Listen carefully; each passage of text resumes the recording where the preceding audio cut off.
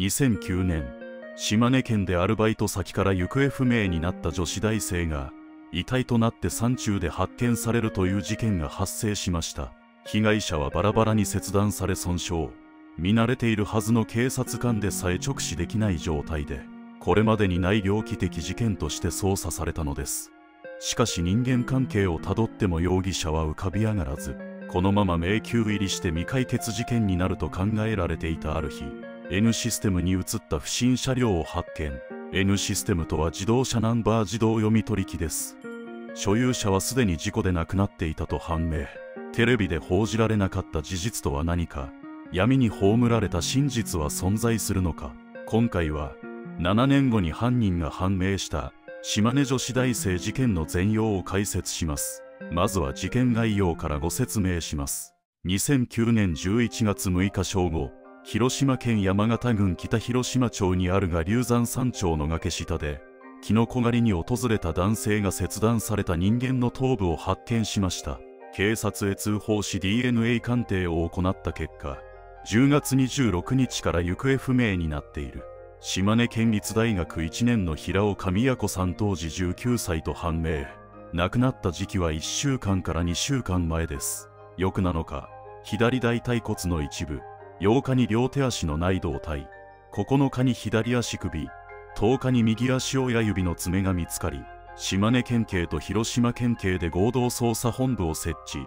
遺体状況や犯行手口を踏まえ猟奇的事件として捜査に当たります。遺体はバラバラに切断され首を絞められた痕跡や焼かれた後胴体を解剖したような状態でこれまでにないほど凄惨な姿でした。現場に残された遺留品は胴体に付着したビニール片のみ。このビニールは NTT が電話帳の配達に使用するポリ袋の一部で身元の判明が早かったのは両親が連絡の取れない娘を心配し失踪2日後の10月28日に捜索願いを提出。4日後の11月2日から公開捜査へ切り替わっていたからです。2010年4月から情報提供を呼びかけるチラシを配布。人間関係を調べるも関連した情報は浮かび上がらず捜査は難航します。ところが2016年 N システムに移った不審な車から被疑者を特定しその所有者が交通事故で亡くなっていたと判明。島根県増田市在住の矢野義治当時33歳を容疑者として書類送検しました。では事件の経緯をお伝えします。10月28日午後9時宮子さんは島根県浜田市港町にある泉夢タウン浜田の3階アイスクリーム店でアルバイトを終え退店。その15分後通用口にある防犯カメラへボーダー柄のワンピースに黒いレギンスを履いた姿が映っていました。しかしこの映像を最後に彼女の行方は途絶えます。本来であればアイスクリーム店でのアルバイトはこの日で終了。翌29日からは JR 浜田駅前にある居酒屋で働く予定になっていたのです。普段はジーンズ姿が多くワンピースにレギンスの組み合わせを選んだりしません。そのためアルバイトの後誰かと会う予定だったのではと噂されました。しかしバイト仲間の話では誰かと待ち合わせしている様子も感じなかったしいつもと変わらなかったと。彼女は香川県坂出市出身で3月に高校を卒業したばかり。その後大学へ通うため島根県浜田市へ転居したところで人から恨みを買う深い人間関係もなく交際相手も存在しません。アルバイト先から寮までは約 2.5km 街灯もほとんどない夜道を通ることになる。どのようなルートで帰宅したか把握できませんが警察によれば周辺にあるコンビニの防犯カメラには姿が映っていなかった。つまり宮子さんは従業員通用口を出て間もなく犯人と接触し車で連れ去られたと考えられます。全く娘に連絡の取れない両親は警察へ通報。通用口付近では白いセダン車が目撃されておりその割り出しに時間を取られていました。そして冒頭でお伝えした事件概要へつながるのです。続いて犯人が特定された理由をご紹介します。警察はレンタルビデオ店でホラー映画の貸し出し履歴から猟奇マニア動物の解体技術を持つ漁師や林業関係者をリストアップしていましたがいずれも見込み違いで捜査は長期化していました。ところが事件から7年後の2016年12月20日捜査本部は容疑者特定の発表を行ったのです。実は2016年夏 N システムで車両を洗い出したところ事件発生直後に浜田市内で不審な動きをする車を発見。通行記録が残る幹線道路をほとんど通らず裏道を走った様子から所有者の経歴を調べ遺体が発見された2日後の2009年11月8日午後3時に山口県美祢市の中国自動車道下り線でガードレールに激突し事故で亡くなった矢野義治と判明しました。矢野は母親と共に山口県萩市に赴き父親のお墓参りに出かけた帰りでこの事故では母親も巻き込まれています。現場にブレーキ痕が見当たらなかったことから自ら命を絶ったのではないかという見解もありますが遺書は発見されておらず確証も得られないまましかし彼は生前知人に大変なことをしてしまった。と話しており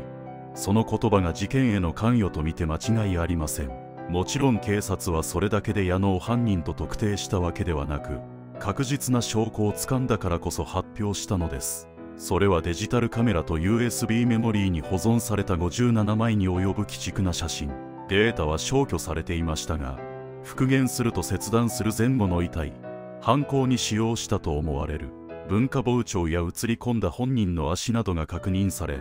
背景から自宅の風呂場で遺体を損壊したと想定される。N システムの記録から2009年10月26日島根県益田市から約 40km 離れた浜田市へ移動し翌27日に益田市に戻ってきたことも分かりました。宮子さんと矢野の間では携帯電話の通話やメールの記録もなく2人には面識がなかったと判断されています。彼はなぜ罪を犯したのでしょうか。ここでは矢野の生い立ちをお話しします。矢野は山口県下関市神田町でタバコ店とクリーニング店を営む両親のもとに生まれました。弟を含めた4人家族で地元の中学校を卒業。福岡県北九州市も軸にある。浄土真宗本願寺派の敬愛高等学校へ進学し進路選択で幹部自衛官を教育する防衛大学校に合格するもそれを辞退。学校推薦で福岡県にある。国立九州工業大学や幹部情報工学部に入学しましたが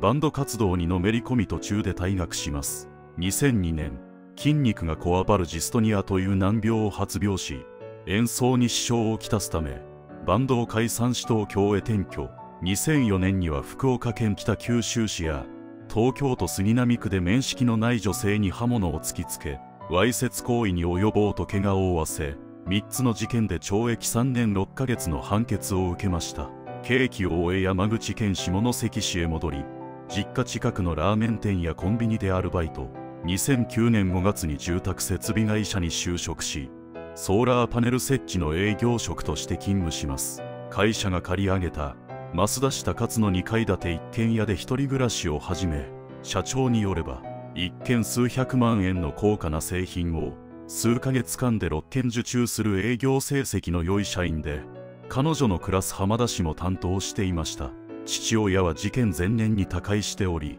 8月13日は夕方からお墓参りをして愛犬と散歩。宮子さんが行方不明となった10月26日月曜日は休みでアリバイは存在しません。さらにちょうど同じ頃客が取れないので営業先を変えてほしいと申し出た情報もあります。遺体発見の前日11月5日は地元の知人に対し交際している女性の関係で暴力団に追われてるから住所を貸してほしい。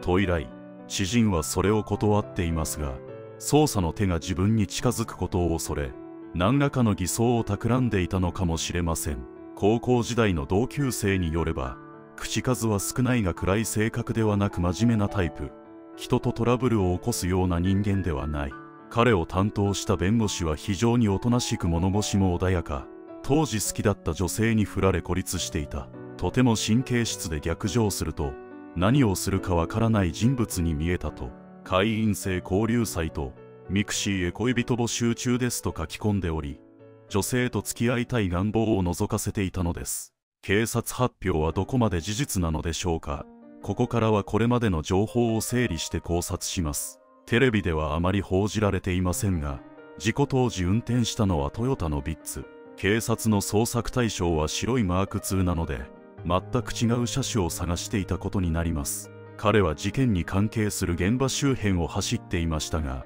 車種が異なることで優先度は低いと判断され捜査対象から外されました。矢野は過去にわいせつ事件の前科を持っています。ですがすでに事故で亡くなっていたことで善良な市民として認識されていたのではないでしょうか。捜査一課長は疑わなければいけない程度の人物だった。とコメントしていますが前科を知った上で捜査対象から外していたのかは曖昧なまま性犯罪者が関与した可能性が高いとして調べ始めたのは2016年。捜査員は矢野の実家付近で電話帳を入れるビニール袋を持っていないか電話帳を配達しているのは誰か聞き込みを行っています。その周辺は電話帳のビニール袋を米屋が配達。彼の実家はタバコ店とクリーニング店ですが祖父の時代は米屋を営んでおり島根県益田市の自宅周辺では矢野が風呂をリフォームすると話していた情報も確認されました。ただし警察幹部が記者の質問に対し捜査員の指揮に関わるので言えないとしたのは遺体発見直後は N システムの映像でも矢野の存在をつかめていなかった。あるいは知っていたけど前科と結びつけるデータが欠落していたからで遺体発見直後から彼をマークしていたのだとすれば発生2日後に交通事故で亡くなったことに対してもっと疑惑を向けていたはず。7年放置された後矢野が浮かび上がったのは人事異動で変わった捜査員が基本に戻り性犯罪者を洗って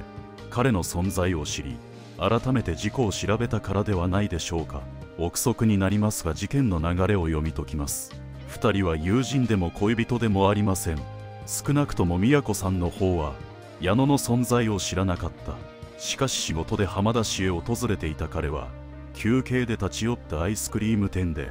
小柄な彼女を気に入り好意を持った。そしてわいせつ行為へ及ぶターゲットとして狙い定めていたのかもしれません。そうでなければ何の接点も存在しない2人は出会うわけがなく矢野が宮子さんを知る術がないのです。従業員通用口から出てきた帰り道の宮子さんを車へ連れ込んだ。犯行がどの辺りで行われたかは判明していませんが車もしくは自宅でわいせつ行為へ及び手にかけた後バラバラに切断してが流産へ行きタイミング悪く交通事故に遭ったのでしょう。最後に一つ自ら命を絶ったのではという見解について検証します。先にお伝えしますが矢野が亡くなったのは事故です。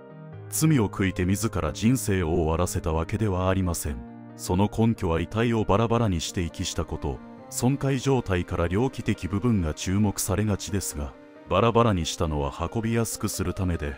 彼は猟奇的思考を持っていたわけではないのです。火をつけたり解剖したのも遺体の身元を隠す目的で切断しただけでは心もとないため念には念を入れただけでしょう。すなわち犯罪の証拠を消すために行動したこと通常の神経では耐え難い残忍さですが当時はその感覚を上回るほど自己保身に走っていたと考えられます。父親のお墓参りを済ませたから思い残すことはないだろう。母親を残すのは忍びないから巻き込んだのではないかという意見もありますが矢野には美容師の弟が存在し母親が一人取り残される心配はありません。ブレーキ痕がなかったのは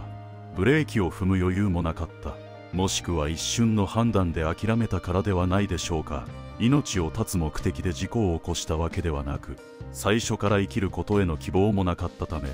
ブレーキを踏む行動が取れなかったのでしょう。事故現場は地元で有名な事故多発地帯峰インターチェンジ峰西インターチェンジの間です。路面のカラー舗装など事故防止策は取られていますがそれでも後を絶たず大型トラックや乗用車が絡む多重事故も確認されています。この区間はカーブが連続する長い下り坂。スピードが出てカーブを曲がりきれずネット上では間のカーブと呼ばれるほどの難所です。道路の傾斜が通常と逆であることから中央分離帯やガードレールへ激突する車が多いと言われミラコさんを手にかけた彼の感覚はいつもと異なり高揚していた。だからこそ運転中の判断も働かなかった。その結果として事故を起こしたのかもしれません。実際のスピードは分かりませんが 100km 近くでカーブへ進入しハンドル操作もままならないうちに激突したのではないでしょうか。いずれにしても矢野が宮子さんの命を奪った犯人であることは間違いなくたとえ事故で命を落とそうともその事実は永遠に消えません。もはや逮捕できず。事故が起きたのは天の裁きと結論付けられるのではないでしょうか。この事件は発生から7年後に犯人が特定されていますが逮捕できていません。警察は上層部の顔色を伺うのではなく真摯に捜査してほしいと願うばかりです。平岡宮子さんのご冥福を心からお祈りいたします。2000年千葉県で重機オペレーターの男性が行方不明になるという事件が発生しました。娘が父親の社宅に行った時電気はつけられたままテーブルの上に食べかけの食事が残された状態で携帯電話へ連絡するも留守番サービスにつながっただけ明らかにおかしいと思い警察へ捜索願いを提出するも事件性はないと判断されます。娘は全く操作してもらえない現状からテレビ番組テレビの力へ応募しそこから情報提供が呼びかけられ男性を手にかけた2人組の犯人逮捕へつながりました。男性はなぜ命を奪われたのか。番組に寄せられた情報とはどのようなものだったのか。今回はテレビ番組のおかげで発生から5年後に解決した茂原市重機オペレーター事件を解説します。まずは事件概要からご説明します。2000年3月11日午前1時頃千葉県茂原市大芝に住む重機オペレーターの江沢茂雄さん当時49歳が自宅近くの居酒屋を出て行方不明になりました。同日当時18歳だった娘が父親の社宅を訪れた時電気はつけられたままでテーブルの上に小松菜のおひたしとご飯の炊かれた炊飯器が置かれ携帯電話は留守番サービスにつながったものの本人と連絡が取れません。夜まで待っても父親が帰宅しないため午後10時迎えに来てもらおうと夫へ電話をかけるもつながらない。不思議に思いよく調べると電話線が切られていました。重雄さんは離婚して一人暮らし。近いうちに孫が生まれることを楽しみにしていたのです。翌12日父親が職場を2日間無断欠勤している事実も判明。娘は再び社宅へ足を運びドアを叩いても何の反応もなくいつも鍵をかけない父親の部屋が施錠されていたため部屋の中で倒れているのではと心配しはしごを使って裏のベランダから部屋へ入ると11日に訪れた時のまま明らかに普通と違う状況を悟り4日後の3月15日警察へ捜索願いを提出しましたが家出と判断され積極的に捜査されませんでした。そこで生放送事件情報番組テレビの力へ応募2004年10月11日と25日の2回放送され情報提供が呼びかけられた結果重雄さんを最後に目撃した居酒屋関係者の女性 A さんから重要な情報が寄せられます。番組側は犯人の逃亡や証拠隠滅情報提供者が危害を加えられる可能性を考慮して放送を自粛。11月に調査報告書を作成し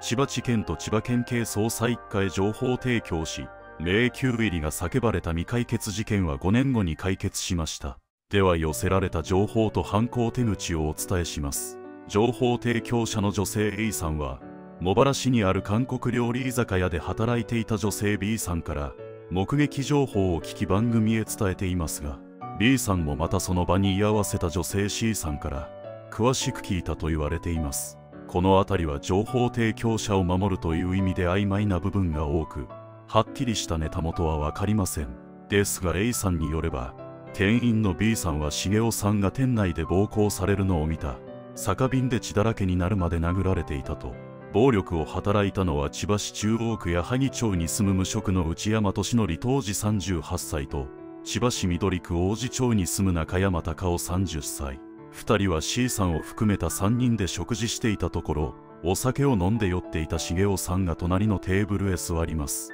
そして具体的な内容は不明ですが些細なことで口論へ発展。内山が重雄さんを殴り車からに本刀を持ち出してさらに絵の部分で暴力を振るいました。その後はお店の女将に袋を要求。重雄さんの頭に袋をかぶせた上で車のトランクへ押し込みます。女将と B さんはこれを話せば同じ目に合わせると脅され内山と中山は C さんを連れて3人で茂原市街を抜け房総半島南部の山中へ向かいました。C さんと2人の関係性は不明ですが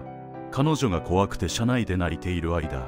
内山と中山は意識のない重雄さんをガードレール越しに崖から投げ落とし袋と携帯電話彼が履いていたサンダルを橋の上から投げ捨てて重雄さんが会社から貸し出されていた車も不法投棄します。残念ながらその車は廃棄処分されていますが不法投棄を見た近所の主婦が回収される前に証拠を残そうと写真を撮影し車自体は存在せずともその写真が証拠になりました。警察はこれらの情報をもとに重雄さんの遺体を捜索しましたが遺棄したと思われる現場を発見できず暴行が行われた居酒屋からは血液があったとされるルミノール反応を検出。その DNA が重雄さんと一致したことで内山と中山を任意同行し4月6日2人が全てを認め逮捕に至ります。続いて動機に迫ります。内山と中山は犯行前から重雄さんを見知っていました。それはおそらく利用するお店の常連客だったからで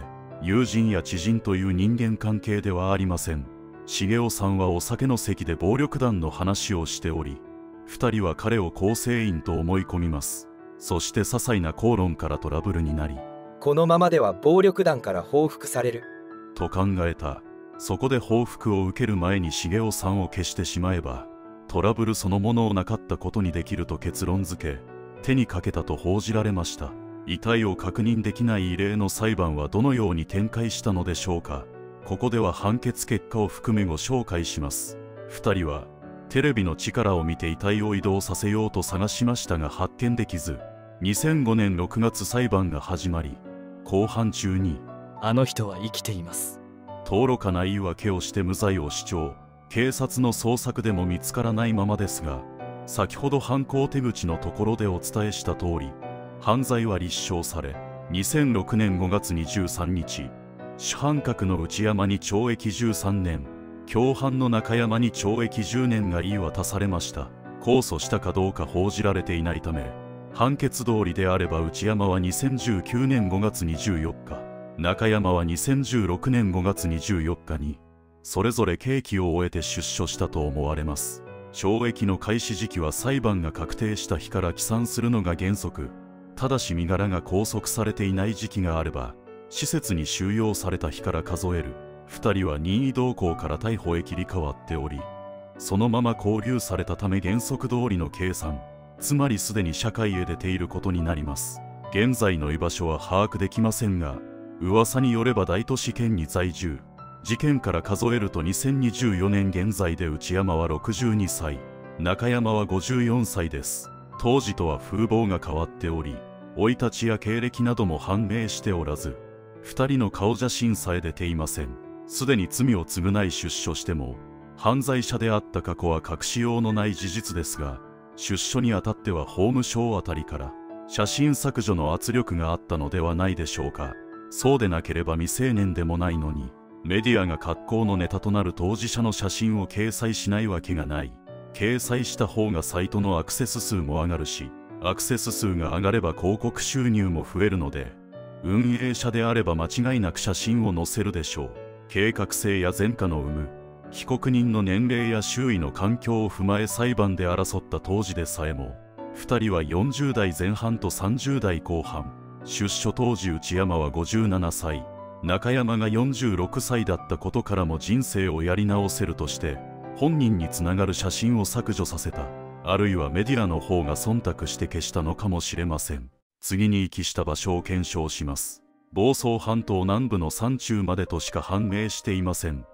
運んだ時間は深夜で内山と中山の供述も曖昧。茂原署特別捜査班はヘリコプターを投入しいすみ郡大滝町や君津市周辺の山林数十カ所を捜索するも未だ発見されておらず解決したと言っても重雄さんは自宅へ帰れていないのです。行き場所に関してはテレビの力に登場した超能力者の発言に注目しましょう。超能力者は投資でおおむね全容を言い当てており警察の捜査で発見できなかったのであれば参考にするのも悪くありません。いくつかのポイントが指摘されていますがその中でも取り上げたいのは彼のそばに水を感じる。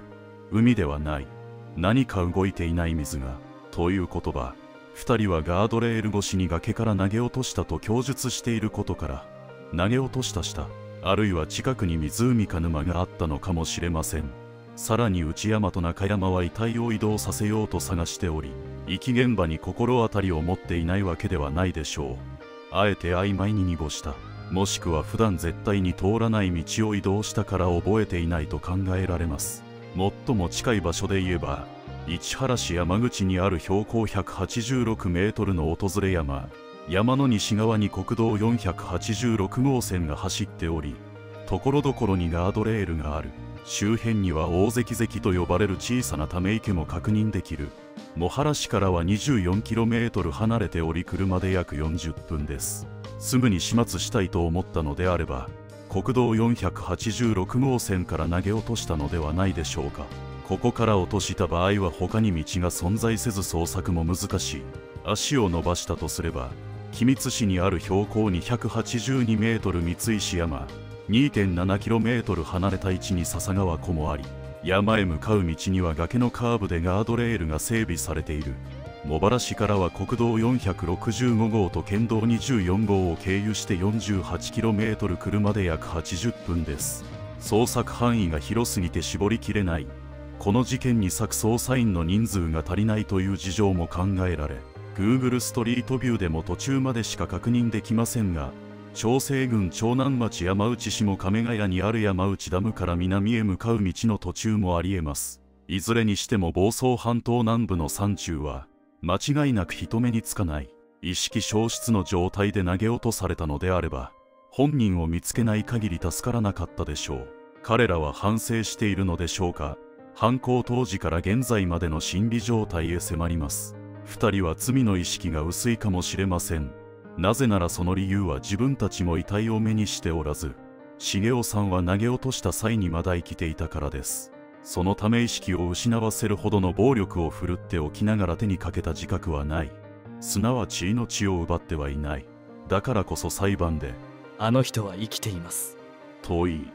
とどめを刺していないから自分たちは無実と主張したのではないでしょうか。そして懲役刑で毛罰は受けたと区切りをつけ自分たちが行ったことを顧みず生活している。出所した当時の年齢から SNS を使いこなしているかもしれません。本名を覚えている人は少ないため詳しいプロフィールを登録せず利用しているのではないでしょうか。またはハンドルネームを使っている。膨大な情報が存在する社会では目立つ発信さえしなければ過去を掘り返されることもなく2人の顔写真は掲載されていないためたとえ事件内容がネット上に残っていても支障はない。養子に入る結婚するなどして名字を変えていなければ本名のままですが裁判で謝罪したという声も聞こえないことから自己顕示欲が高くなぜ自分が隠れなければならないのか納得できない顔写真がないから名前を聞いてもわからないだろうという安易な考えを持ち上げ本名で暮らしている可能性はあります。刑期を終えたので現在は犯罪者ではありませんが過去に起こした行為は人の命を奪うという許されないもの。自らの行動を戒め生活を改めなければ当時の人間性と変わらない。口先だけでなく本心から被害者と被害者遺族にを浴びしていなければ事件と向き合っていなかった証拠感情を抑制できず自分本位に振る舞っている男がいて気になる発言や行動を目にしたのであればご注意ください。この事件はテレビ番組から手がかりが得られていますが警察は誤った判断を下さないようしっかり捜査してほしいと願うばかりです。江沢茂雄さんのご冥福を心からお祈りいたします。2003年神奈川県にあるエステ店で女性従業員の命が奪われるという事件が発生しました。犯人は止めに入った男性店長に重傷を負わせスタッフや客の証言から指名手配されるも足取りを追跡できずしかし事件から14年後県内にあるダム湖の橋の下で白骨遺体となり発見されます。男は犯人だったのか2人の間に何があったのか今回は14年間未解決だった神奈川県厚木市エステ店事件の真相を紐解きます。まずは事件概要からご説明します。2003年11月9日午前1時30分頃神奈川県厚木市東町にあるエステ店駐車場で勤務を終えて出てきた従業員中野志保さん当時に16歳が待ち伏せしていた男に刃物で刺されなくなりました。悲鳴を聞いて駆けつけた当時25歳の男性店長も止めようとして重傷を負わされます。犯人はワンボックスカーで逃走。スタッフと客の目撃証言から30歳くらいで灰色のウィンドブレーカーを着た男近隣住民が男女の怒鳴り合う声を聞いていることから顔見知りの犯行が浮上しました。そして人間関係を捜査し厚木市南町のアルバイト清掃員久保田忠義当時24歳が指名手配されます。久保田の車は神奈川県愛好郡清川村の宮ヶ瀬湖近くで見つかりましたが本人は見当たらず捜査も難航。しかし事件発生から14年後の2017年8月宮ヶ瀬湖に架けられた橋を散歩していた男性が湖面で白骨遺体を見つけ警察へ通報。遺体と車両に残された微物の DNA を照合しさらに神奈川県警が押収した車と遺体が身につけているジャンパーのポケットから見つかった鍵も一致。その遺体が間違いなく久保田であると断定されたのです。警察は彼が自ら命を絶ったと結論付け2018年4月24日容疑者として書類送検しました。では2人の関係をお伝えします。久保田は志保さんが働く店の常連客でした。一部ではそれを飲食店と報じている情報もありますがおそらく風俗店です。彼は彼女につきまとっていたという話もありいわゆるストーカー。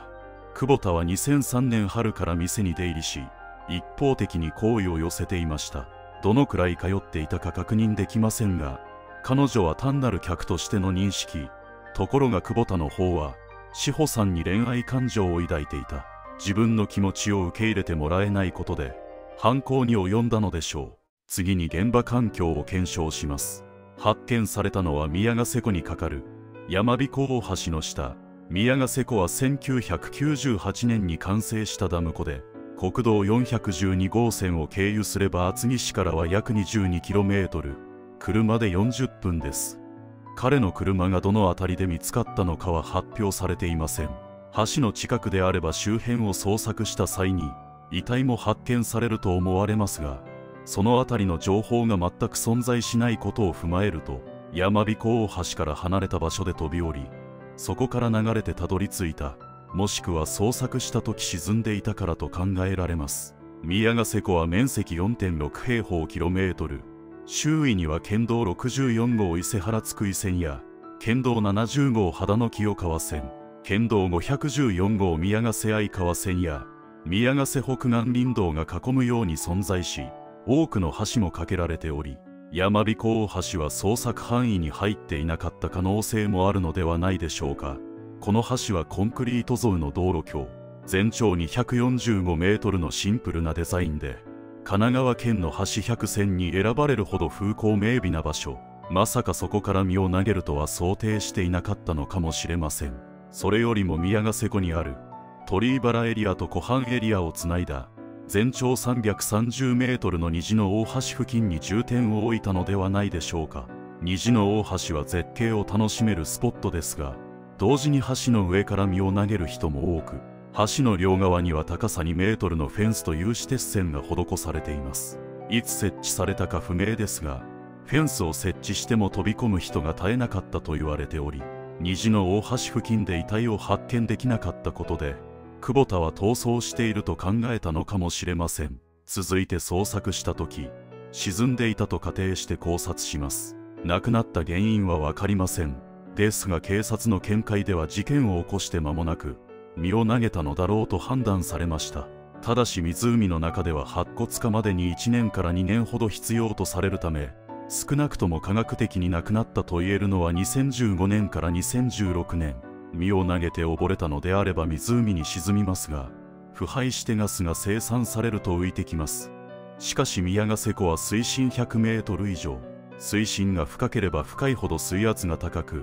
腐敗ガスによる浮力も弱くなる。つまり警察が山彦大橋付近を捜索したとしても遺体は沈んだまま気づかれることなく時間が流れたのではないでしょうか。従って事件後すぐに命を絶ったという意見を誤りとする根拠はありません。仮にその通りであれば白骨化したのは2004年から2005年。水深が深かったせいでこれまで湖面へ浮かび上がらず14年後に発見されたのです。彼もまた何者かに突き落とされたのではないかという噂もありましたが白骨遺体に目立った外傷は確認されておらず事件後すぐ行方不明になっており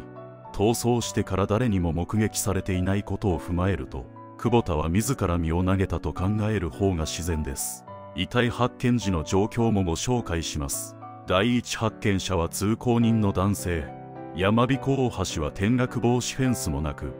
橋の欄干は約1メートル。大人であればそれを乗り越えたとしても不思議はありません。2017年8月宮ヶ瀬湖は渇水の影響を受けていました。白骨遺体は100メートル以上ある湖面へ浮かび上がったのではなく水位が低下したことにより湖の底から発見されたのです。多くの媒体では湖面へ浮かび上がっていたように伝えられていますが正確にはわずかな水しか残っておらずむき出しになった固定だったからこそ発見に至ったのではないでしょうか。2017年関東地方は梅雨らしい雨が降らず治水制限されるほど水不足に陥りました。そのため普段は湖の底にある昔の道路や標識が姿を見せ SNS で話題に上がっていたのです。産経新聞によれば7月22日の時点で貯水率は52%遊覧船乗り場の桟橋も撤去され過去最低の状態だったと。遺体発見時の貯水率も同じようなレベルで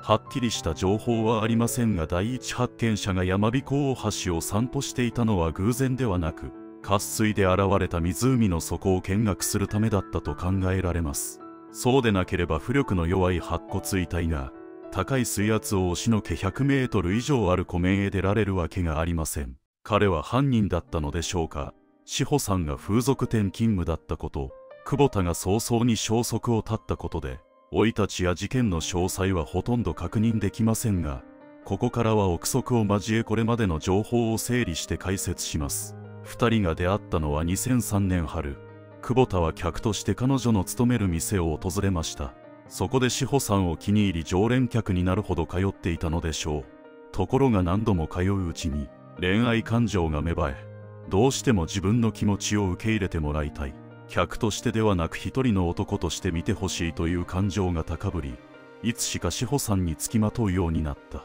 彼の行動がどこまでエスカレートしていたのか判明しておらず店側もストーカーとして警戒していたのかは把握できていません。しかし犯行当日仕事を終えて出てきた彼女を狙ったということは久保田は志保さんの自宅を知らなかったと思われます。あるいは知っていたとしても確実に会える職場を選んだ。いずれにしても自分の思いを彼女に伝えたくて足を運んだ。いくつかの情報で志保さんの紹介に静岡県富士市と表示されていますがそれは実家の所在地で実際に住んでいたのは神奈川県内と推測されます。近隣住民が男女の争う声を聞いたという情報から察するに彼は彼女への気持ちを訴えたのではないでしょうか。例えばこれまで何度も君を指名してきたから僕の気持ちは分かってるはずだ。こんなに伝えているのになぜ避けるんだ？と詰め寄ったのかもしれません。ただしどれだけお金を貢ごうとも志保さんにとってはただの常連客。恋愛感情が湧くわけもなく時々存在する迷惑な客だったのでしょう。もしかすると店に入らず駐車場で待ち伏せたのは出入り禁止にされていたからとも受け取れる。客として入店できず自宅の場所もわからなかったことで駐車場でしか会えなかったのではないでしょうか。彼女は刃物で胸を刺されて亡くなりました。凶器は残されてなかったので久保田が持ち去ったと考えられます。自分の気持ちを伝えるだけなら刃物は必要ありませんが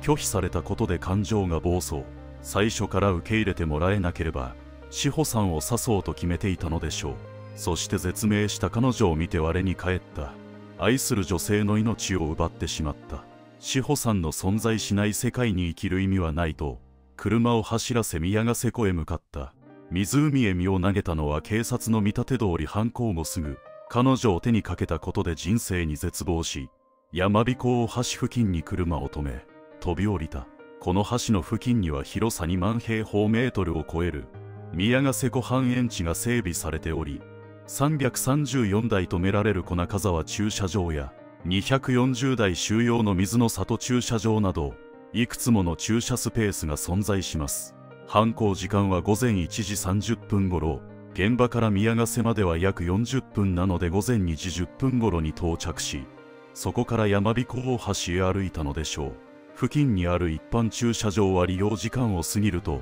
出入り口の門が閉ざされますがバスなど大型車専用の駐車場には門が設けられておらず自由に出入りできる状態または県道64号線の路肩に駐車したのではないでしょうか。山彦大橋の西側は住宅街や清川村立宮ヶ瀬中学校があり通行量も少なくないためこの付近を歩けば目撃者も現れます。ですが目撃証言が一件も集まっていないことから彼女を刺したその足で橋から飛び降りたと推測される。橋の東側は道路が伸びているだけで車を止められるスペースは存在しない。もちろん道路上に駐車し発見されたとも想定できますがそれらしい情報は報じられていないので西側にある宮ヶ瀬湖半円地付近に止めたのでしょう。ただしそうなると県道64号線から一度山彦大橋を渡って飛び降りるために戻ってきたかもしくは県道70号線を走って湖畔園地付近に車を駐車したことになりますが厚木市から宮ヶ瀬湖へ県道70号線を経由するなら南下して伊勢原市まで走り遠回りになります。一刻も早く身を投げたかったとすれば県道64号線を利用したと考える方が整合性も取れる。さらにもっと深読みすればわざわざ山彦大橋を渡って車を止めに行ったのではなく国道412号線と県道64号線を経て虹の大橋から身を投げるつもりだった。ところが橋にはフェンスと有刺鉄線が設置されておりそれを乗り越えられないと察したため山彦大橋から飛び込もうと回り込み宮ヶ瀬湖半円地付近に車を止めたのではないでしょうか。警察が取り調べようと指名手配した時はすでに命を絶っていた。生きて事情聴取されなかったことで100%断言はできませんが志保さんを手にかけたのは久保田と見て間違いないでしょう。凶器の刃物は車に残されておらず未だ発見されていないので彼が自分と一緒に湖へ放り投げたのかもしれません。この事件は事件発生から14年後に解決していますが今後も多くの未解決事件のうずもれていた手がかりが発見されることを願うばかりです。2003年東京都にある林道の側溝で切断された右腕が発見されるという事件が発生しました。第一発見者は有害住駆除で山を訪れた猟友会のメンバー。通報を受けた警察が指紋照合をして身元が判明。遺体は得意行方不明者とされる男です。得意行方不明者とは命に危険が迫っている人物のこと。それに伴う捜査を進めた結果8人の容疑者が逮捕され犯人の供述から残りの遺体も見つかります。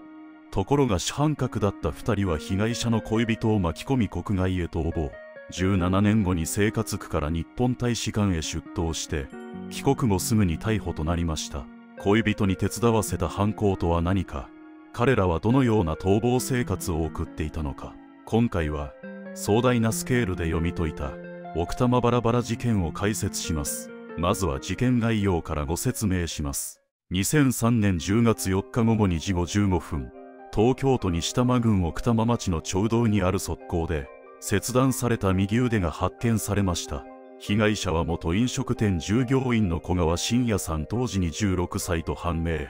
11日前の9月17日真也さんは千葉県市川市のレストラン駐車場で恋人 A さん当時19歳と共に拉致され埼玉県戸田市にあるマンション一室に監禁されていたのです。犯人は偽造クレジットカードを用いた。詐欺グループのリーダー松井智之当時31歳と同じく神谷荘に19歳で彼はその部屋で暴力を振るわれていました。翌18日の正午彼らは深夜さんを車に乗せ奥多摩町の空き地へ移動。乗用車のトランクに押し込み再び監禁します。19日正午山梨県北鶴郡丹波山村のキャンプ場へ車を走らせ後始末をどうするか相談。そこで A さんからしんちゃんを助けてほしい。とお願いされましたがその声を無視しこのまま彼女を解放すると警察に告げ口されることを恐れやらなければ命はないと配下の人間と共に彼を手にかける手伝いを強要しました。その後松井と神谷 A さんと配下の人間を加えた総勢9人は河原でバーベキュー。夜は松井の仲間の女性 B の家に集合し19日深夜から20日未明にわたっての小切や包丁で遺体を解体。ビニール袋へ入れ丹波山村や奥多摩町の山中に遺棄します。そして冒頭の遺体発見につながりますが松井と神谷は A さんと B を連れ南アフリカ共和国へ逃亡。2014年1月23日2人を除く8人の配下の人間のみが逮捕されたのです。では逃亡生活をお伝えします。4人は他人名義のパスポートでハワイへ入国。10月18日松井と B はアメリカのアトランタを経由して南アフリカのヨハネスブルグへ。10月22日神谷と A さんは韓国ソウル経由で南アフリカへ入りました。南アフリカに逃亡した理由は松井が指揮するクレジットカード偽造グループのアジトがあったから。4人は当初カード偽造で稼いだお金を使いプール付きの豪邸に住みます。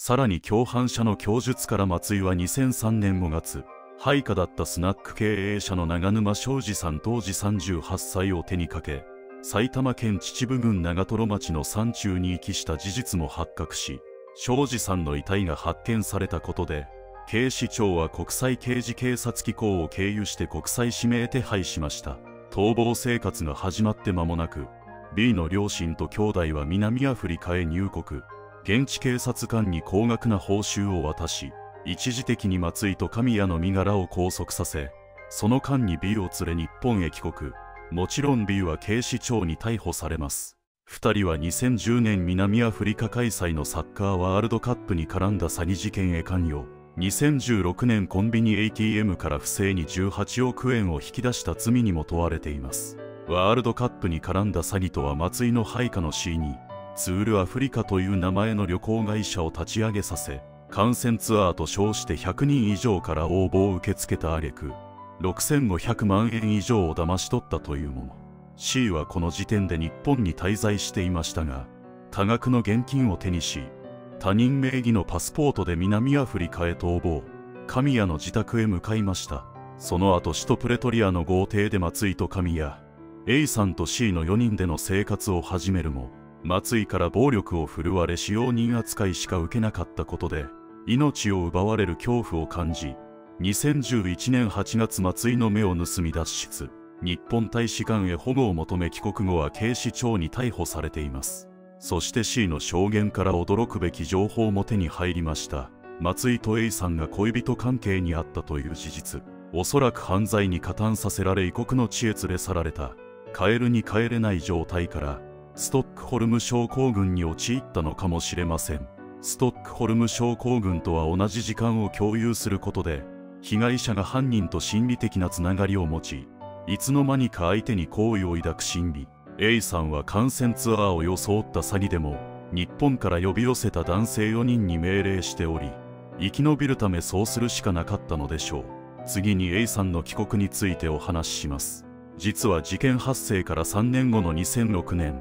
彼女の両親は南アフリカへ A さんを迎えに行くも到着すると突然連絡が取れなくなり連れ帰ることを断念。それまでにも何度か電話があり無事でいることだけは確認できていました。2011年 C が逮捕されて以降松井は警察を警戒し A さんに実家へ連絡させ警視庁の動向を探らせようとしていたのです。そのため捜査員を A さんの両親に同行させメディアに報じられたら松井の思惑にはまってしまう。手続きに時間もかかることから家族のみ入国し日本大使館の職員に警備してもらう方が良いという協議になりました。ところがこの方針に外務省から待ったが投じられたのです。警察関係者が丹念に説明し了解を得た結果家族が南アフリカに到着したら日本大使館へ行き香港を経由して日本総領事館の指示に従う。法務省からは A さんの行為が刑法第37条の緊急避難で犯罪が成立しないことを検察庁へ確認することが課題であると。そして両親は A さんと対面し日本大使館へ行き帰国の手続きを行ったのです。南アフリカ航空 SA286 便で出国。香港を経由して夕方の全日空 NH910 便で成田空港に到着。事情聴取を受け嫌疑不十分で不起訴となり両親の待つ自宅へ帰ることができましたが警視庁捜査にかにワールドカップに絡んだ詐欺事件で逮捕されました。主犯格の男は A さんの逃亡を許したのでしょうか。ここでは帰国に伴う情報に迫ります。彼女が両親と対面できたのは白人男性 D が協力したからです。D は松井の取引先関係者でした。しかし D の父親は元軍幹部。その友人が歴代大統領の側近を務めた警察幹部で企てた儲け話をことごとく潰され松井は D を恐れていたのです。やる気をなくした松井は呆然とした毎日を過ごしその姿を目にした神谷は2011年6月豪邸を去りました。その上神谷の離脱を知った松井は自ら命を絶つと宣言したまま外出。一人残された A さんはこれまでの事情を D に打ち明け帰国が叶ったのです。続いて松井と神谷の顛末をご紹介します。2人には深夜さんの命を奪った容疑がかけられていますが南アフリカは極刑を廃止した国。いくら犯罪者でも極刑制度のある日本へ身柄を引き渡せない。そこで警察も検察も極刑は求めないと伝え捜査員を南アフリカへ向かわせました。しかし文化や価値観の違いに阻まれ交渉はスムーズに進みません。そして2017年12月南アフリカ東部に位置するダーバンの海岸で木に紐をかけて首を吊った身元不明の遺体が発見され日本語で迷惑をかけた問書が残されていたことも含め DNA 鑑定で松井と判明。南アフリカの捜査当局から外務省を経由して日本の警察へ連絡が入り警視庁は容疑者が亡くなったものとして書類送検しました。その一方神谷は逃亡生活を継続。英語を話せたため家のリフォームやエアコンの修理門番として働きましたが同居人が新型ウイルスに感染し家賃も払えないほど生活に困窮。大家とトラブルを起こし逃亡資金が底をついたことで日本大使館へ出頭。2020年9月24日に逮捕され裁判で懲役13年が確定しています。人の命を奪っておきながら懲役13年とは短い刑期ですが神谷は深夜さんを手にかけた時その場に存在しなかった。けれど仲間と通じ合っており犯行を知っていて共謀したと認定されたからです。なぜこれほどの強行に及んだのでしょうか。ここからは2人の生い立ちと犯行に及ぶ経緯に触れます。松井は北海道出身。詳しい生い立ちは確認できず家族に関しても明らかではありません。半グレ集団の関東連合と親しく神谷とは2003年6月に出会います。高校時代の話も全く検索にヒットしないことを踏まえるとおそらく中学を卒業して以降は地元と縁を切っていたのかもしれません。神谷は埼玉県出身。同じく生い立ちや経歴も判明していませんが松井と出会った当時はキャバクラの雇われ店長でした。そこで客として訪れた松井と親しくなり偽造カード詐欺や違法罪つばいに関わるようになったと言われています。深夜さんは高級クラブの元ホストで退職時に顧客名簿を持ち出して店とトラブルになりそこへ六本木で顔が利く松井が店を脅して助けたのが出会いのきっかけです。彼は六本木に新しい店舗を開業する予定だった。松井は助けた見返りに来店客のクレジットカードデータを不正入手するクラブを開店するよう指示し自分をその店の用心棒にするよう命じましたがそれが拒否されたことで怒りが頂点に達したのです。事件前深夜さんは祭りに理不尽な借金を背負わされていました。一度拉致され強引に借用書を書かされた末に解放。隙を見て A さんと共に福島県郡山市にあるウィークリーマンションに身を隠します。ところが友人女性に千葉県市川市のレストラン駐車場へ呼び出されそこで待ち合わせていた女性の車から松井の配下が登場し A さんともども車に押し込められた。つまり彼は友人と思っていた女性に騙されたのです。女性は神谷に金で頼まれ指示に従ったと考えて間違いありません。深夜さんは何かあったら警察へ連絡しようと松井に関する情報をメモしていました。それを拉致された時に見つけられ始末しなければ気が済まない。として事件概要でお伝えした状況へ発展したのです。これほどまでに凶暴性のある松井がなぜ自ら命を絶ったのでしょうか。憶測の域を出ませんが心理学的側面から考察します。松井は事件当時カリスマ的権力を誇っていました。生い立ちや経歴が不明なのも悪事に手を染め何年か服役していたからではないでしょうか。だからこそほとんどの人が情報を得られず噂レベルでも伝わってこないのかもしれません。多くの配下が存在した点から考えて誰も逆らえないほどの傲慢さと勢いを兼ね備えていたのでしょう。そして他人を見下し常に周りの人間を支配していた。だからこそ深夜さんへの犯行もできたと推察されます。ところが B が日本へ連れ戻され C も帰国して逮捕。自分の力が及ばない想定外の出来事に直面しこれまで勢いづいていた気持ちが崩れた。警察に敗北するのではないかという弱さが露呈し仲間だと思っていた神谷も自分の元を去った。A さんはいますが彼女はもともと仲間ではない。一人になった孤独から不安や恐れが拡大し放置されてどうすればよいか判断できず心の闇に自分を引きずり下ろし命を絶ったのではないでしょうか。彼は周囲に取り巻きが存在したことで牽制を振るうことができた。しかしそれが難しくなりいつもの自分を保てなかったとすれば表向きに威勢の良い人間ほど別の角度から責められることに慣れておらず本来であればトップに立つ人間こそ孤独を味わう現実に耐えきれなかった。自ら作り出した劣等感に苛まれ我に返ってもう人生を終わらせるしかないと思い込んだのかもしれません。最後に一つネットで広がる噂に注目します。DNA を鑑定したのは現地当局。遺体と指紋が一致し本人と特定しましたが本当に自ら命を絶ったのかは確認できません。本人であることは事実としても事件発生は2003年。神谷が豪邸を出たのは2011年6月。C が脱出したのは同年8月。しかし松井の遺体が発見されたのは2017年12月です。松井が豪邸を飛び出してから6年以上経過しておりたとえ命を絶つとほのめかして出て行ったとしても6年も行動しなかった男が突然首をくくるでしょうか。自宅を出た時点で命を絶ちたいほど追い込まれていたのは本当かもしれません。ですが追い詰められて自らそれを選ぶには遅すぎる。精神的な絶望感を抱えていたとすればすぐにでも行動に移します。人の心は時間を置けば置くほど冷静な方へ傾き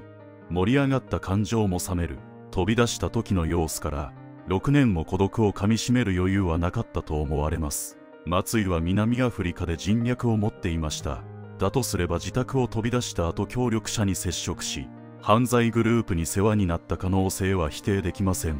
そしてトラブルにより命を狙われた。解剖されていないため確認しようもありませんが一度首を絞めて手にかけその後機に吊るしたとも考えられる。遺書は日本語ですが筆跡鑑定を行っておらず100%とは断定できない。これらを総合的に考えても自らの行動と証明する証拠は存在しないのです。だとすれば現地の組織に消されたという噂は真実かもしれません。この事件は17年後に解決していますが今後は犯人が国外逃亡する前に逮捕されることを願うばかりです。小川真也さんと長沼昌司さんのご冥福を心からお祈りいたします。2006年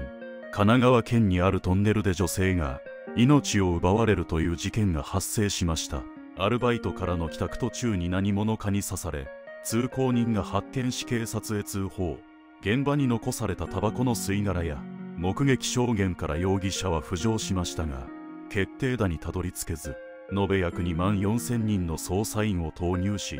2万3000人に聞き込みを行いましたが犯人逮捕に至りませんでした。ところが別件逮捕されていた服役中の犯人が当時担当した宮前署へ事件について話したい。とハガキを出し急展開11年後に真実が解明されます。彼はなぜ罪を告白したのか。どのような理由があって彼女を手にかけたのか。今回はこれまで未解決だった。川崎トンネル女性事件の全容を解説します。まずは事件概要からご説明します2006年9月23日午前0時頃神奈川県川崎市宮前区梶ヶ谷にある第二梶ヶ谷可動橋。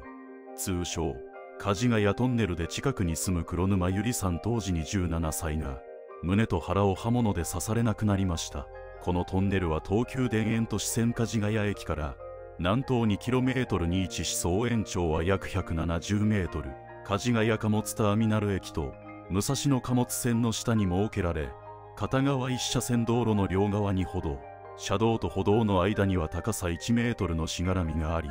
横に逃げられない構造です。ゆりさんは出口まであと20メートルから30メートルの位置で襲われています。そして倒れているところを通行人に発見され病院へ搬送されるも2時間後に息を引き取りました。現場は壁やフェンス歩道約30メートルにわたって血痕が残され手に持っていた携帯電話は放置されたまま財布も奪われていません。目撃情報としては事件発生と思われる時間。黒っぽいフード付きパーカーを頭からかぶった不審な男がトンネル南側出口付近にいたと現場に残されたタバコの吸い殻は劣化が激しく DNA を検出できなかったことで犯人検挙に至らなかったのです。そこから10年後の2016年1月2007年4月5日に当時40歳の女性を刃物で刺して重傷を負わせた罪で逮捕されていた鈴木博和37歳がかつて栃木県大田原市に存在した黒羽刑務所からゆりさんへの犯行を匂わせるハガキを宮前署へ送付しこのハガキが糸口となり真相にたどり着きました。彼は懲役10年の判決を受け服役し警察へハガキが届いたのは仮釈放当日。そこには取り調べを担当していた刑事と話がしたい。とも綴られていました。指名された捜査員は刑務所を訪れ事情聴取。説明内容が遺体状況や捜査内容と一致し2017年10月に逮捕。事件発生から11年後にようやく終止符が打たれたのです。では鈴木の生い立ちについてお伝えします。彼は神奈川県川崎市宮前区でタクシー運転手である父親のもとに生まれました。母親と姉妹を含めた5人家族地元の高校を卒業した後2002年に風俗関係の施設で相手の首を絞めて失神させ売上金を強奪。女性の苦しむ表情を眺めてストレス発散させるような生活を送っていたのです。2003年に結婚。妻の兄の紹介で義兄が勤める自動販売機を設置する会社に入社します。2004年8月隣の高津区へ転居。この時期夫婦関係は良好で子供にも恵まれごく普通の家庭を築いていました。引っ越してきた当時隣人はよく子供の面倒を見る普通の人に見えたそうで週末は家族で遊びに出かける姿を見かけたし会えば挨拶もしていたと。しかし高校時代の同級生によれば不良というわけではないけど変わったところのあるやつ暴力を振るうというよりはいじられるような体質だった。女性関係のトラブルが多く親しい友人も特にいなかったと証言しました。もともと歪んだ人格を持っていたことに加え日頃のストレスが重なり隠していた暴力性が現れ始めたのでしょう。事件を起こす3ヶ月前から包丁を持って車やバイクで川崎市内を徘徊。自分好みの女性を物色するようになりました。ターゲットを発見しては体を触る行為を繰り返しその反応を見て満足していたのです。そして2007年帰宅途中だった保険外行員の女性を刺し全治1ヶ月の重傷を負わせています。犯行の1時間後階段の下に車を停車させていたら女性が襲われているのが見えたから助けに行った。犯人が逃げたから追いかけたけど見失った。と目撃者を装って警察へ出頭。被害者は犯人を追いかける人はいなかった。と証言し車を止めた場所から犯行を目撃することはできない。自ら話をしたのは指に毛が多い。靴に血痕が付着していたことで怪しまれることを想定し嫌疑をかけられないよう先に言い訳したつもりだったのかもしれません。彼はこの事件を起こす前に窃盗で逮捕された前科を持ちその取り調べで DNA も採取されていたため現場に残された血液から自分にたどり着かれることを恐れていたのではないでしょうか。その結果辻褄の合わない話から事情聴取家宅捜査へ進み逮捕に至った。しかし残念ながらこの時点でゆりさんの事件は明かされておらず捜査本部は疑いを持ちつつも確証を得られなかった。逮捕された当初の裁判では検察側からトンネル事件を起こしたのもあなたじゃないですか。と問われお答えできません。その時間には仕事のミーティングがあった。とアリバイを主張していますしかし同僚への聞き取りからその時間帯にミーティングはなかったと判明。上司と思われる人物は。当日仕事は午後7時に終わっている。一度会社に戻っているが午後9時から10時には帰宅しているはず。と証言。知人から。鈴木はセミロングでスレンダーな女性が好み。という情報も挙げられゆりさんに当てはまります。裁判では犯行を認め。人命軽視が顕著で身勝手。と指摘された一方被告なりに反省も示している。と解釈され懲役28年で判決されました。実は2005年3月6日午後11時10分頃梶ヶ谷駅から 1km ほど南下した住宅街で43歳の女性が切りつけられる通り魔事件が発生しておりこれも鈴木の仕業ではないかという噂が存在していたのです。持って生まれた性格もありますが彼の人格が歪んだのは家族へ暴力を振るっていた父親のせいかもしれません。父親は鈴木が学生時代くも膜下出血で倒れ施設暮らしただしそれまでずっと家庭には平穏が訪れず暴力と共に育ちました。そのため幼い頃から心の奥に凶暴性を持ち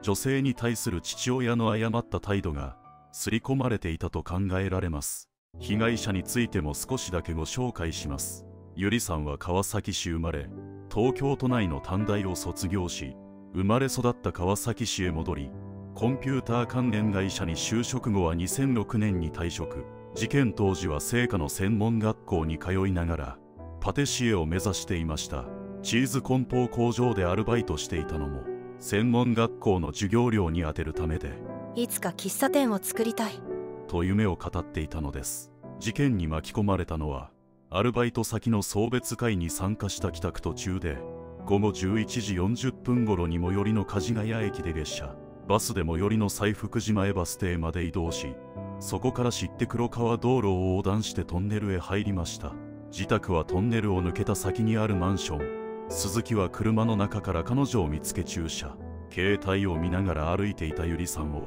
背後から追い越して回り込むような形で事件を起こしたのです。彼はなぜ11年経って罪を告白したのでしょうか？ここからは動機や理由に迫ります。このまま黙っていれば仮釈放を迎える。2007年の罪は償った。わざわざ自分から自供するメリットは見当たりません。もちろん自白するに越したことはありませんが服役している間に心境の変化があったのかという憶測も生まれたでしょう。直接のきっかけは鈴木の病気です。2009年7月交流中に米チェット病と診断され。医療がしっかりしている刑務所に行きたい。と望んでいました。米チェット病とは免疫バランスの異常で起こる。全身性の炎症性疾患。そして2015年7月朝食時に突然倒れ。医師に下された診断は脳梗塞と肺炎。左半身に麻痺が残り。リハビリ生活を開始しベッドに空きが出たことで八王子医療刑務所に移送されることになったのです。宮前署へハガキを送ったのは脳梗塞と肺炎に倒れた後で八王子医療刑務所へ行く前の話。鈴木は自らが病気になったことでゆりさんの苦しみを知り罪を告白しようと思い立ちました。そのためここだけ切り取れば反省も見受けられますが犯行動機については理解しがたい供述を述べています。偶然イギリスの切り裂きジャックを紹介する番組を見てそれに憧れたと。しかも見ず知らずの娼婦を何人も手にかけ逮捕されなかった。女性の苦しむ顔を見たいという気持ちがエスカレートした。と語っています。その上事件当日は同僚である義理の兄の行動にストレスを感じ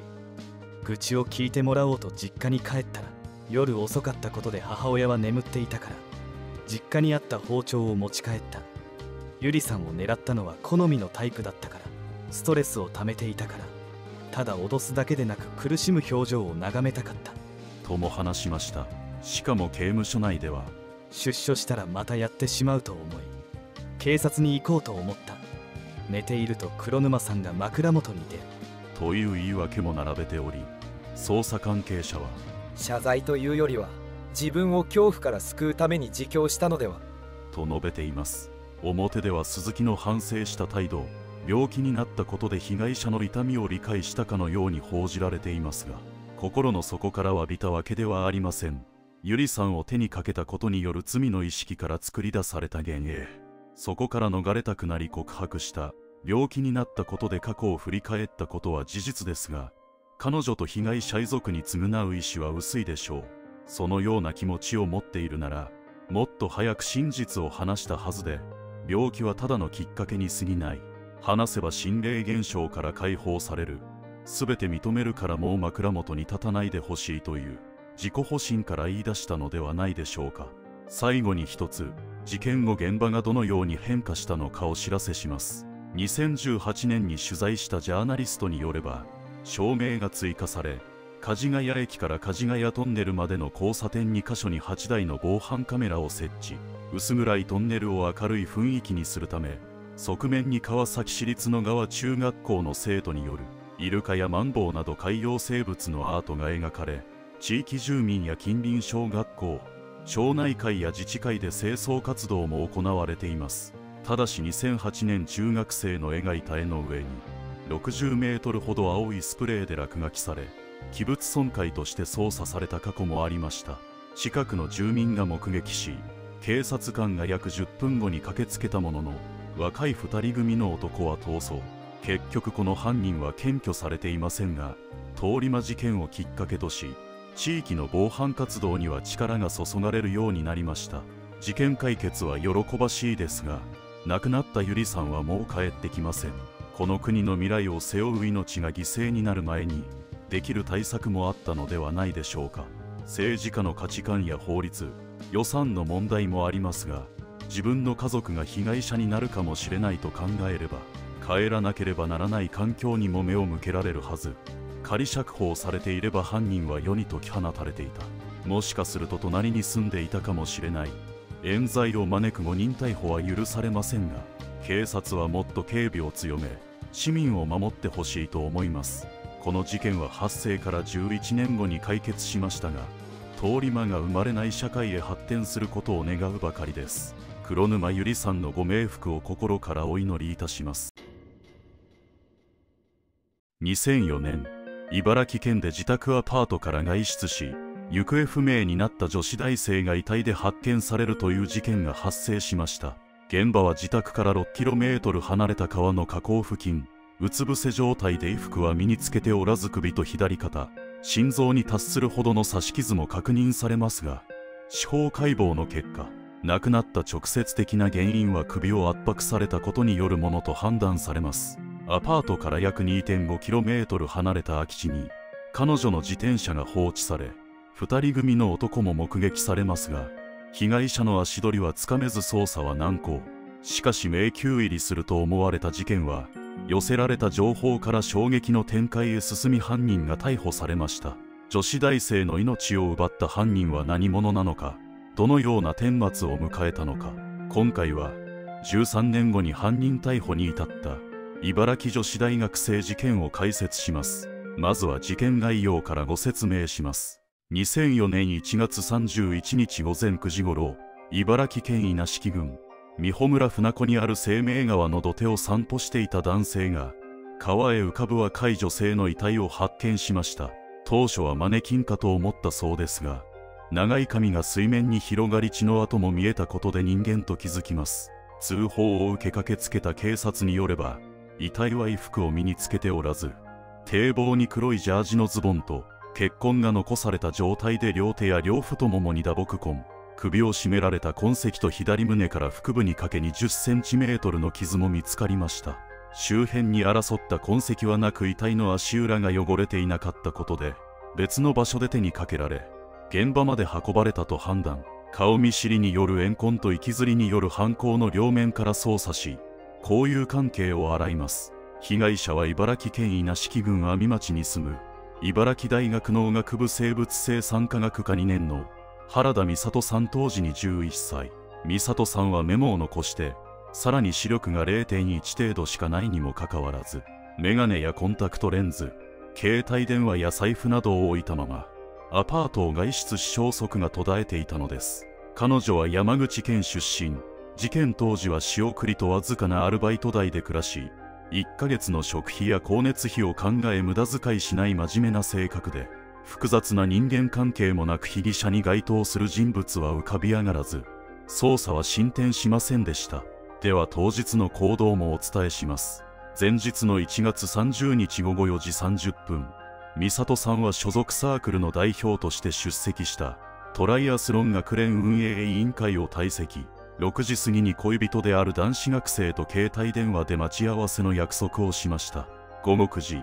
渋谷駅から上野駅まで東京メトロ銀座線。上野駅から土浦駅まで JR 常磐線を乗り継ぎ自宅へ帰宅。そして10時に待ち合わせた男性と合流しスーパーで買い物。その後彼は夕食をとりお酒を飲んでうたた寝をします。そのため翌1月31日午前0時頃。散歩に出かける。朝までには戻る。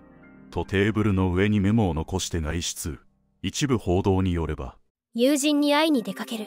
と書き残されたとされていますがそれは報道による情報の混在です。彼は美里さんが出かける気配を感じましたが声をかけずそのまま就寝。午前8時目覚めて彼女がいないことに気づきメガネやコンタクトレンズ携帯電話や財布も置かれたままだった状態を心配し友人に連絡するも行方は確認できず仕方なく車で帰宅。午後3時頃身元不明の遺体発見のニュースを見て警察へ連絡したのです。当初警察は彼を疑っていました。美里さんが外出する前に2人が喧嘩していたことで容疑をかけましたが数度にわたる事情聴取で不審点も浮上せず釈放。彼女と親しくしていた別の男子学生に注目し三角関係のもつれではないかと考察しましたがそれも全くの見当違い。2人は喧嘩した際にどちらかが散歩に出かける習慣でした。だからこそ彼は美里さんが外出する気配を感じても声をかけなかったのでしょう。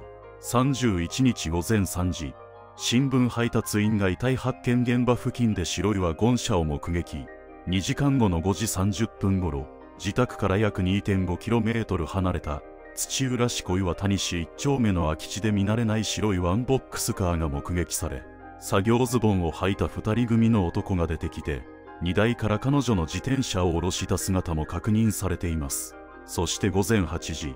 2人組とは関係ない近くの作業員が倒れていた自転車のスタンドを立て空き地へ置きました。4日後の2月4日に自転車が発見されようやく恋人男性への疑いが晴れたのです。次に犯人逮捕の経緯をご紹介します。目撃情報があるにもかかわらず捜査は暗礁に乗り上げ2007年美里さんの両親は犯人逮捕につながる情報提供者へ懸賞金200万円を支払うと公表。1年後の2008年警察庁からも公的懸賞金制度の適用を発表しました。しかし制度終了の2014年までに有力な情報は集まらなかったのです。そして11年後の2015年事件への関与をほのめかす人物について情報が寄せられました。ただし彼女との接点はなし。当時茨城県土浦市に住んでいた。10代から20代のフィリピン国籍を持つ男としか判明せず慎重に裏取りを重ね2016年岐阜県に極秘訪問し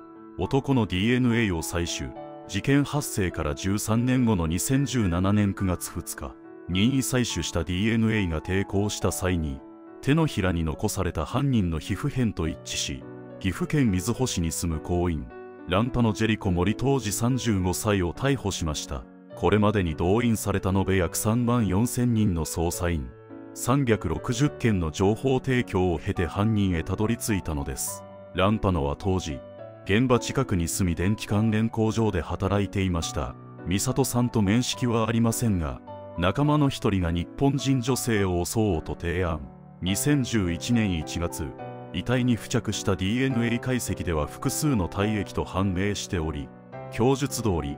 話に乗って犯行を率先したと言われています。ランパの逮捕と同日彼の妹と日本人の夫は偽装結婚で公正証書原本不実記録容疑で逮捕。ランパノと同居するタイ国籍の飲食店従業員の女性を入管難民法違反容疑で逮捕しました。他に2人の共犯者も存在し2007年彼らは共犯者の母親に打ち明けたことでフィリピンへの帰国を勧められ3月に出国。ランパノのみ日本へ戻り2010年から岐阜県で暮らしていたのです。驚いたことにランパノは妻と3人の子供義理母と義理父を含めた7人家族自動車関連工場へ勤務し近所では小煩悩と評判の人物で日本で生活したのはフィリピンよりもお金を稼げるからという理由でした。2018年末警察は共犯者で当時18歳だった A が出頭するという情報を得て外務省を経由して本人 A 氏を確認。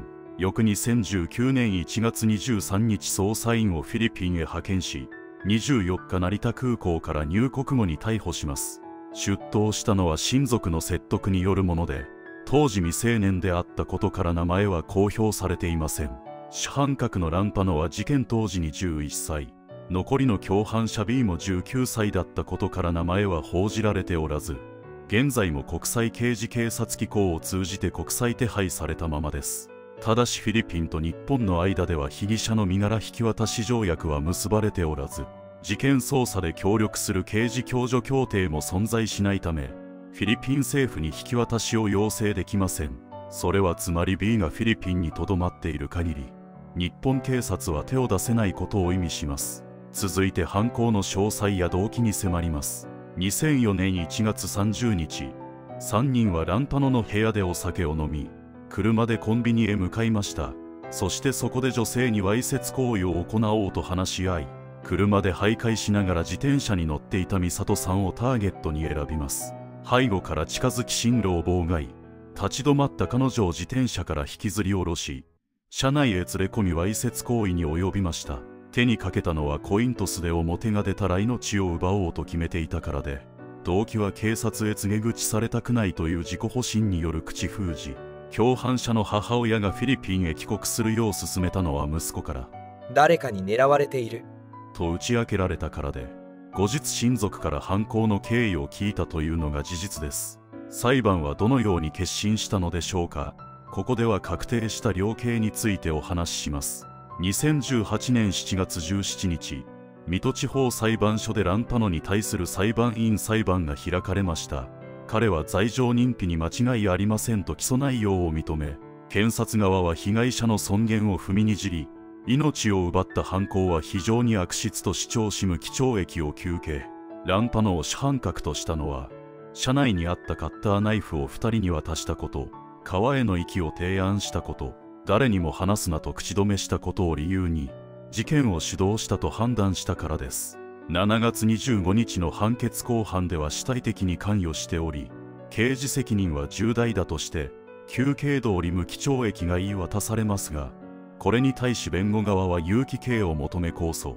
12月20日控訴審初公判が開かれ検察側は控訴棄却を求め即日結審しました。そして2019年1月16日量刑が重すぎることはないとして控訴が棄却されランパノは上告せず無期懲役で確定します。2021年2月 A の裁判も開かれ弁護側は美里さんを手にかけることに2度反対した。彼は加害者3名のうち最年少で従属的な立場にあり罪を償うためにフィリピンから再入国し出頭していると主張しましたが無差別で暴力的な犯行により被害者の生命や自由を軽視したとして無期懲役で判決しました。ランパノは優しい父親というイメージですが元同僚によれば短期ですぐ起こる。彼のせいで退職に追い込まれた人もいたとさらに未だ逮捕されていない B はフィリピンのルソン島に実家があり妻子も存在。帰国後は隠れることなく生活していましたが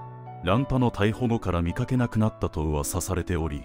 現在どこで暮らしているのか消息はつかめません。妻子あるランパノはなぜ罪を犯したのでしょうか。ここからは裁判記録も含め彼の心理状態を検証します。被告人質問で仲間の誘いなので同意した。わいせつ行為はお酒を飲んだせいで重い罪と考えられなかったと弁解犯行後は再び自宅へ戻ってお酒を飲んだことも判明しました。最終弁論では娘が生まれてから後悔し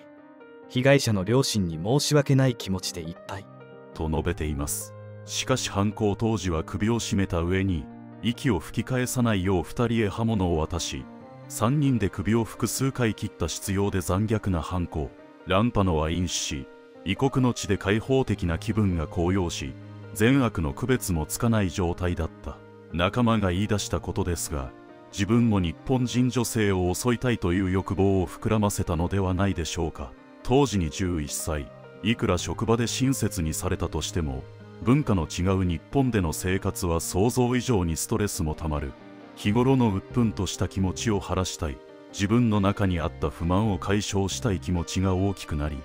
行動をエスカレートさせたのかもしれません。彼は犯行から2年後の2006年にフィリピン女性と結婚するも2007年に母国へ帰国。2010年家族で日本へ入国し岐阜県瑞穂市祖父江で暮らしますが娘を授かったことで初めて自らの行動を深く後悔したと供述。しかし食材の気持ちが芽生えたにもかかわらず家族に見捨てられたくないという自分本位な考えで捜査員が訪れるまで罪を告白せず普段と変わらない生活を送っていたのです。犯行をほのめかしたのは単なる気の緩み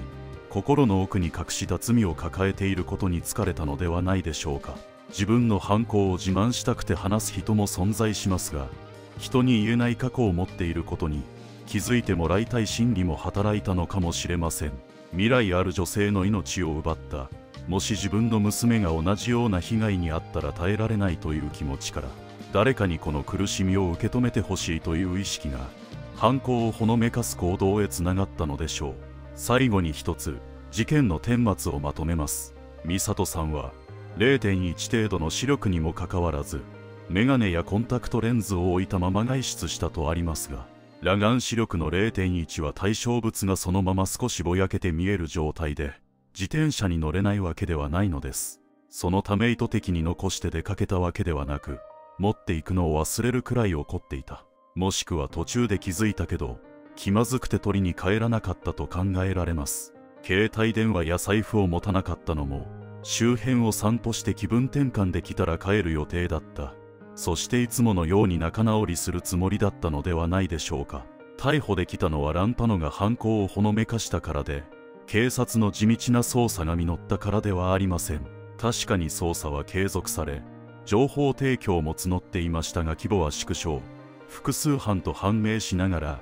迷宮入りするのではないかとささやかれていたのです。実際に一人は国外逃亡したまま逮捕できず全ての犯行が明るみになった現在も立件できる見通しは立っていません。美里さんが真夜中に出歩かなければ恋人男性が気配を察した時点で引き止めていればという意見もありますが事件が起きてからでは後の祭り今更何を言ったとしても彼女は戻ってきません。若くて未熟だったから先のことは考えられなかった。あの時はどうかしていた。今にして思えば自分の行動がどれほど愚かなことか身をもって感じていたとすればランパの都営には命が尽きるまで塀の中で過ごし後悔しながら人生を終えることこそ彼らにできる唯一の償いではないでしょうか。この事件は発生から13年後に犯人が逮捕され共犯者1人がフィリピンに存在する以上日本の警察は捜査できませんがこのような時こそ権力を行使し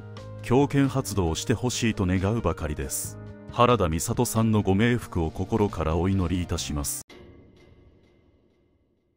2004年熊本県にある診療所で院長の妻が手にかけられるという事件が発生しました。物色した形跡は室内に確認されるも現金や金庫は盗まれておらず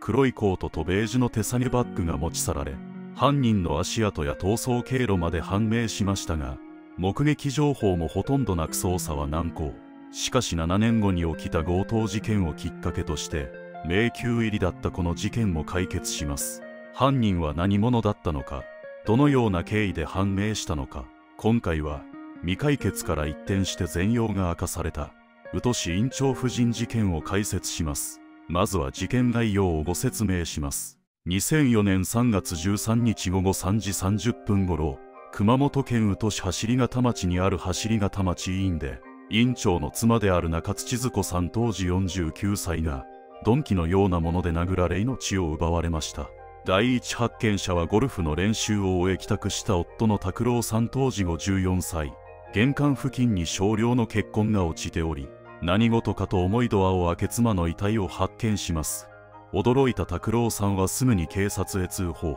血痕は床だけでなく壁や天井にまで飛散し血液が付着した犯人の足跡を鑑定した結果ナイキ製のスニーカーであることが判明します。犯人は玄関から侵入し千鶴子さんを手にかけ再び玄関から逃走したとみられ足跡は国道501号を隔てた調剤薬局の敷地まで続いていました。敷地に駐車スペースがあるため用意した車をそこに止めそれで逃走したのでしょう。当日は土曜日拓郎さんは自宅隣の診療所で午後1時まで診察し1時間後にゴルフの練習へ外出しており千鶴子さんは夫が留守だった90分の間に襲われたと考えられます。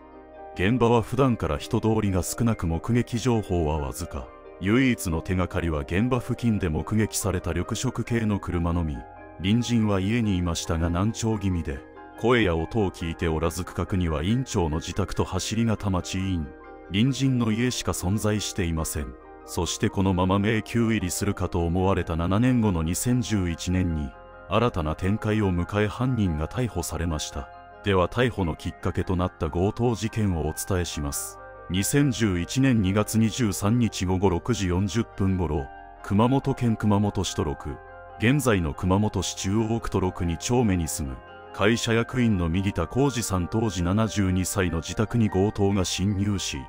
第一発見者は隣の人が血を流して倒れている。と警察へ通報玄関付近で夫の浩二さん敷地内で妻のよし子さん65歳が刃物で刺され倒れている姿が発見されました。2人は救急搬送されるもよし子さんは病院で亡くなっていることが確認されます。捜査本部は自宅インターホン映像や足跡から捜査。映像には犯人の顔がはっきり映っており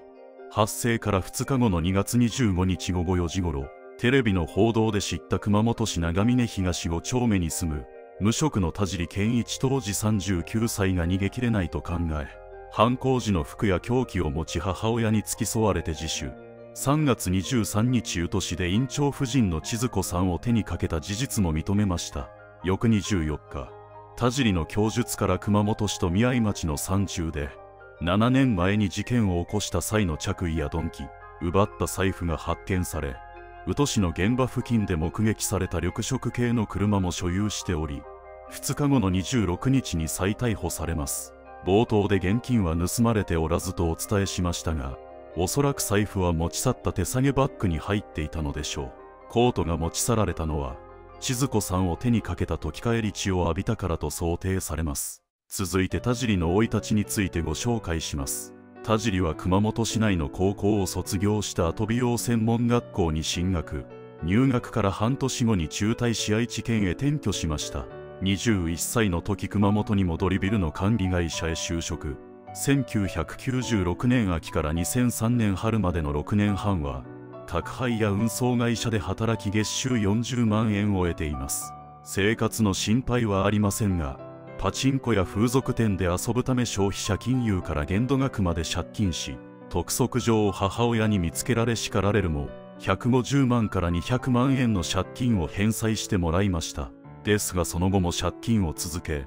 その度に母親が肩代わり。呆れた母親はあんたを刺して私も命を絶つ。と包丁を振り回したことがあったため借金がバレるのは嫌だ。もう他人から奪うしかないと考え千鶴子さんの自宅へ侵入し命を奪ったのです。彼には当時150万円以上の借金が存在しました。次に千鶴子さんをターゲットにした理由をお話しします。2人に面識はありません。毎月の返済に困窮した田尻は裕福な家を狙って強盗へ入りました。当日はすでに診療を終えていましたが喘息を装って自宅のドアを開けさせ侵入。千鶴子さんの頭や顔をスパナで殴ります。情報が錯綜していますが裁判では現金18万円を強奪して逃走と記録されており最初に報じられた金目のものは盗まれていないという記事は誤りだったと思われます。千鶴子さんは玄関の鍵を必ず閉める人でチャイムが鳴ってもすぐにはドアを開けずカメラに映った訪問者を確認して応対する女性だったのですが田尻が喘息を装ったことで患者と思い警戒を解いたのではないでしょうか。走り型町医院は現在閉院しており建物自体も存在しませんが田尻は診療所や自宅を見てお金を持っていると判断し押し入った。駐車場に夫の車がないことを確認した上で玄関チャイムを鳴らしたのでしょう。お金を奪うだけなら手にかける必要はありませんが顔を見られており身元特定を恐れた。そのため千鶴子さんを手にかけた後で室内を物色したのでしょう。熊本市での事件も補足します。田尻が浩二さんの家を選んだのは事件を起こす1年半前の2009年夏頃運送会社へ勤務し新築住宅の引っ越しを担当して裕福そうな家と覚えていたから彼には消費者金融に約250万円親族に約225万円の借金がありました。そのため車を家の壁にぶつけた。とだまして玄関ドアを開けさせ出てきたよしこさんの顔や首背中をバタフライナイフで切りつけ現金10万円と商品券2万円を強奪。午後6時30分頃に帰宅した浩二さんの胸や脇腹を刺して逃走したのです。判決はどのように決心したのでしょうか。ここでは裁判結果をご紹介します。2011年10月11日田尻は熊本地方裁判所で開かれた。裁判員裁判で起訴内容を認めましたが弁護側は宇土市の事件を自首が成立すると主張。検察側は熊本市の事件は自首が成立するが宇土市の事件では取り調べ中に自供したもので自首は成立しないと述べました。確かに逮捕状発行の前だったかもしれませんがそれは単なるタイミングの問題。実況見分や証拠の裏取りをする必要があるため自供したからといってすぐには逮捕できません。警察は誤認逮捕を避けるため確実な証拠を集めなければならず被疑者の自供だけでは公判を維持できないため逮捕できなかっただけです。田尻は2人を手にかけており宇土市の事件でも自首が成立すれば極刑を免れるかもしれない。もちろん裁判官の裁量によるため自首が成立しても減刑されるとは限りません。しかし極刑を回避したかった本人。または弁護側の意向で自首を争点にしたやり取りが存在したのでしょう。ただし田尻は罪の意識から自首したのではなく逃げきれないと考え警察へ足を運んだ。つまり反省しておらず自分勝手な理由で自らの罪を告白したわけです。10月25日最終意見陳述では声を震わせながら何の罪もない人たちの命を奪って本当にすみませんでした。都検察席と傍聴席の遺族らに向かって頭を下げましたが裁判長からはパチンコや風俗店で使った借金返済のため強盗を繰り返し身勝手かつ短絡的。最初の事件から7年後に同様の手口で再び犯行に及んでおり責任は重大だ。と伝えられ極刑を言い渡され控訴。2012年4月11日福岡高等裁判所で控訴棄却とされるも最高裁判所へ上告しましたしかし同年9月10日上告を取り下げたため極刑が確定し2016年11月11日福岡拘置所で極刑が執行されます。刑事訴訟法では確定してから原則6ヶ月以内法務大臣が執行命令書にサインして5日以内とされていますが田尻の場合は執行までに4年以上かかっています。これは極刑が確定した人間に再審請求する権利が存在しているから田尻は再審請求していませんが極刑廃止を訴える日本弁護士連合会が抗議。そのあたりの対応に時間を費やしたこと法務大臣が極刑確定から執行まで4年の間に9人変わっていることその上極刑が言い渡された当時は民主党政権執行された際は自民党政権引き継ぎの事務手続きや政治家の都合で遅くなったのではないでしょうか。当時の法務大臣は一橋経済学部を卒業し旧大蔵官僚だった人物。就任から3ヶ月後にサインしたことから職務を遂行したと言えなくもありませんが法的に他人の命を奪うことなのでほとんどの法務大臣は仕事といえど執行命令書にサインしたくなかったのかもしれません。彼はなぜ借金を繰り返したのでしょうか。ここからは田尻の心理状態へ迫ります。はじめにお断りしておきますがここでお話しする借金とはギャンブルや風俗に使う浪費のことです。これらの浪費癖はもはや依存症。多額のお金をつぎ込むことで鬱憤やストレスを解消したのでしょう。そこに自制心や判断力の欠如が追加される。長期的な利益ではなく目の前のメリットに流される。田尻は未熟な人間で借金がバレるのは嫌だ。もう他人から奪うしかないと言ったのも返済すればよいだけのことですが返済能力がなく追い詰められた末に犯罪を犯しました。月収40万を手に入れた時でさえギャンブルや風俗に費やしたと言われており心の弱さが露呈したとしか言いようがありません。宇土市でも熊本市でも同じ手口ですが院長の妻である千鶴子さんを手にかけた方法は異様なものでした。頭や顔に集中してダメージを負わせていますがその反面首から下は鑑定する必要がないほど綺麗な状態。全く危害は加えられておらず傷は存在しない。そのため当初は怨恨の線も疑われています。専門家ではないため一概には言えませんが顔への執拗な攻撃は相手を支配したい気持ちの表れ。この家にあるお金は自分のものという意識が含まれるのではないでしょうか。胸や腹部を刺すなら恨みや憎しみなど明確な感情を持ち対象人物を手にかけた意志が感じられる。それに比べて頭や顔を狙った場合は結果的に命を奪うところまでは同じですがその人物を象徴する部位であることから自分の思い通りにことを運びたいという気持ちが含まれるかもしれません。つまり支配欲もう母親に借金を払ってもらえない。でも借金はやめられないしお金を借りたことがバレるのは嫌だ。だから人からお金を奪う自分の考えや行動を正当化し犯罪へ至った。しかし裁判記録通りであれば彼は逮捕されるかもしれない大きなリスクを背負った上で